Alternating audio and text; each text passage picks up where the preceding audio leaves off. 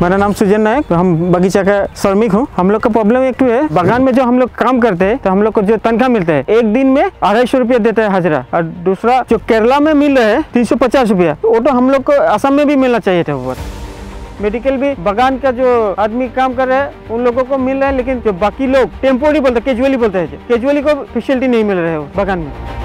Government tea garden के लोगों को वोट बैंक बोल के यूज़ कर रहे हैं। हम लोग जब पट्टे के बारे में जाते हैं एसडीओ ऑफ़िस पे तो वो लोग बोलते हैं, बागान का मालिक का माटी है। असमीज लोगों को मिल जाता है पट्टा। लेकिन हम बागान के जो लेबर लोग हैं, उन लोगों को नहीं मिलता है पट्टा। ये एक बड़ा समस्या हमारे लोग टेम्पोरी है। उसके बाद में छः महीना काम होता है हम लोग का। छः महीना पाती तोड़ता है, हम लोग का बोनस देता है तीन महीना का। छुट्टी पैसा भी तीन महीना का देता है रेशन भी। तो बारह दिन करने से हम लोग को छः किलो मिलता है।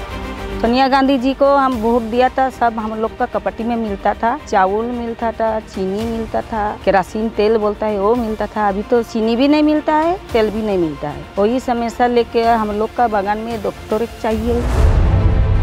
मेरा नाम महेश नायक है और मैं एक टी वर्कर हूँ। दिन दिन देखिए अभी तो बहुत प्रॉब्लम चल रहा है हमारे जो टी गार्डन में। सरकार से कुछ सुविधा नहीं मिल रहा है। जो काम करते हैं वेतन अच्छा नहीं मिलता है और वो गुजारा नहीं कर पाते हैं। कोई ट्रीटमेंट अच्छा नहीं मिल रहा है जो हम लोग को रेशन दे, देता है। वो रेशन से हमारा भरण पोषण और फैमिली चल नहीं पा रहे हैं। ऐसे ही हम जी रहे हैं। और जो मेडिकल की बात रही वो मेडिकल में ऐसा प्रॉब्लम है जो बेडिंग होता है ना हॉस्पिटल का वो बेडिंग भी कभी कभी खाली नहीं रहता है। हम लोगों को उम्मीद है कि राहुल जी आए और कांग्रेस की सरकार आसाम में बनाए। उससे हमारा यातायात का सुविधा भी अच्छा होगा और हम लोग की और प्रगति कर पाएँगे।